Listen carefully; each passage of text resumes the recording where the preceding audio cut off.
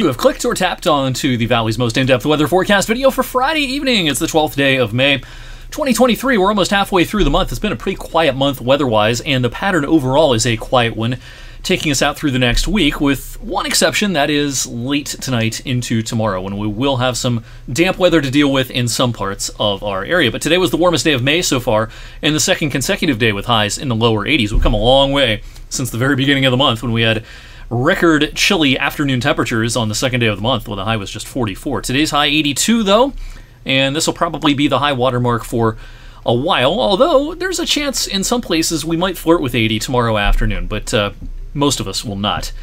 Uh, reach the 80s on our Saturday. Quick time lapse from uh, Niles today. Good looking morning and midday before the clouds, as expected, started to thicken and lower some during the uh, afternoon, especially late in the afternoon. And these uh, increasing clouds ahead of a system that will again bring us a little bit of wet weather. But no severe weather with this, and actually, severe weather has been lacking over the last several weeks. I, I rewound the clock to April 2nd. That was the day after our second wind event across the area. Uh, we had two damaging wind events uh, in most of eastern Ohio and western PA at the end of March and on April the uh, 1st. Severe thunderstorm warnings, though, since April 2nd have been confined to areas south of 224, Columbiana County on south. Tornado warnings have been confined to central and, and uh, western Ohio. Um, but uh, yeah, the rest of our area, it's been a quiet, severe weather season so far after kind of a fast start earlier on this spring. Now, when we look at tornado climatology across the lower 48 states, here in May, no surprise, things are kind of peaking in the middle of the country. Usually early in the season, it's more in the south. Mississippi, Alabama, Louisiana, places like that. As we get into the middle of May, uh, it becomes more of a, a Dallas, Oklahoma City, Kansas City, uh, Des Moines, places like that, more of an issue there. And then around our part of the country, it's typically June and maybe early July that we see severe weather and tornado risks kind of reach their crescendo.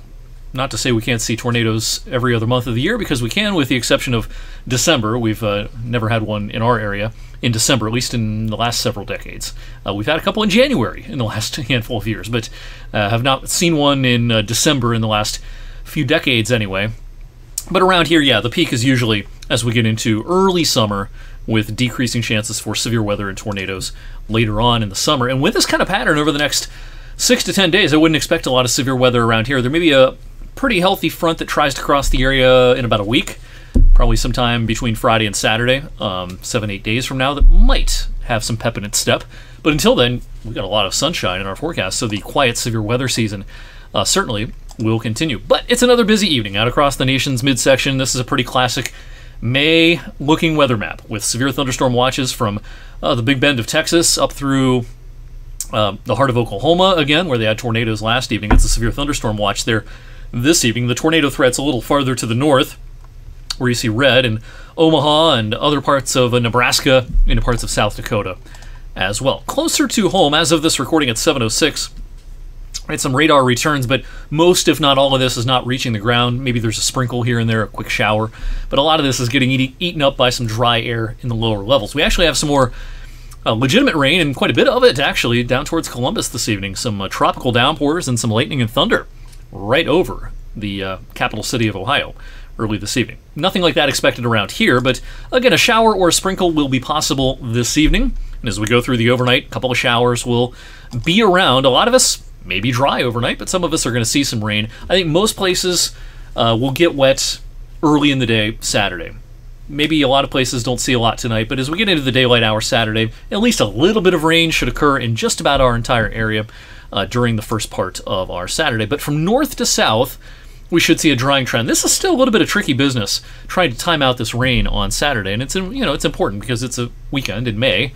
Uh, people have plans, and uh, just know that we have a good chance of getting wet early. As we get into the afternoon from north to south, look for decreasing rain chances. Now, it may take a while to lose the chance of rain the farther south you are. So think places like Lisbon, East Palestine, East Liverpool, um, Rogers, heading down towards Salineville, uh, Ellwood City, even New Castle. It may take a little while for those places to see the rain chances decrease.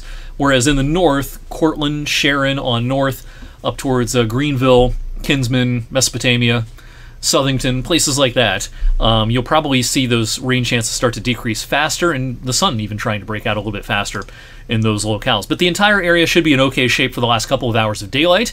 Should be a pleasant enough evening, Saturday evening. Uh, a lot of us should be dry, and uh, some clearing of the sky, and we'll call it a mix of sun and clouds for our Sunday. Brief period where it may turn overcast for a time Sunday evening, but then we're into bright sunshine for Monday and quiet weather for just about all of next week. Temperature wise, this weekend, again, we have 76 for the high tomorrow. If the sun breaks out a little bit faster, especially in our northern viewing area, you might flirt with 80 in those northern areas. We're in our southern areas where it takes a little bit longer for the rain to push away and the clouds might take a while to break. Uh, you'll be hard pressed to see the 76 tomorrow. So we might have a range, an unusual range, um, where it's warmer in the north and cooler in the south on our Saturday. Everyone should see about 70 on our Sunday.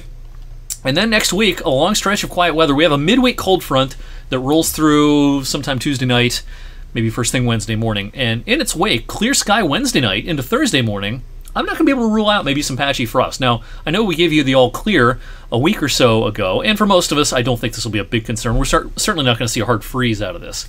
Um, but Wednesday night, first thing Thursday morning, we might dip down into this area where some patchy frost might be possible. Now, you know, deep into May, it gets hard to get frost, even when you see temperatures dipping into the 30s, because you're typically not that cold for very long, because the nights are getting short.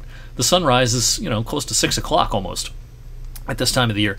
So, you know, I'm not expecting a killing freeze or anything like that, but maybe one final risk of patchy frost Wednesday night and Thursday morning. Of course, we'll keep you updated on that risk early on next week, and look for that update on the next edition of Weather for Weather Geeks on Monday.